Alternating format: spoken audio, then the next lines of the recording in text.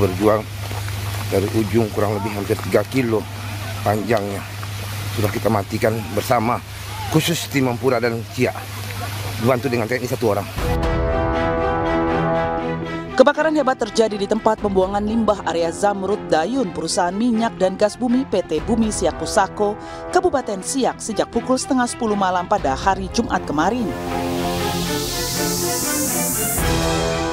Kebakaran terjadi di salah satu kolam dari tiga kolam VT minyak mentah. Ketiga kolam berisi minyak mentah yang berasal dari sumur-sumur di Bumi Siak Pusako.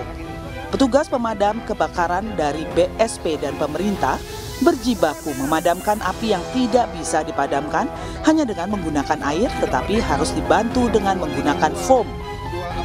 Pasca insiden kebakaran yang terjadi dini hari, pintu masuk di kantor besar PT Bumi Siak Pusako Zamrud dijaga ketat oleh pihak security. Imbasnya, sejumlah petani kebun yang memiliki lahan di dalam kawasan PT BSP dilarang masuk oleh pihak petugas hingga waktu yang belum ditentukan. ada pembuangan limbah mereka, ah, itu yang terbakar.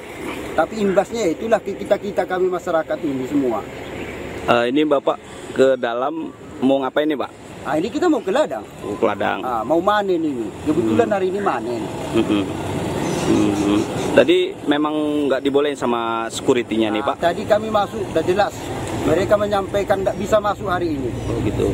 Apa alasan mereka tidak boleh masuk nih Pak? Ya alasan mereka tadi karena ada kebakaran. Mm-mm. Selain itu, pihak perusahaan belum bisa menginformasikan atas kejadian kebakaran tersebut.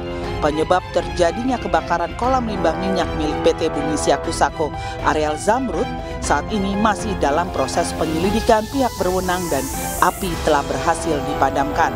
Dari Kabupaten Siak Riau, Eli Suwanti, iNews melaporkan.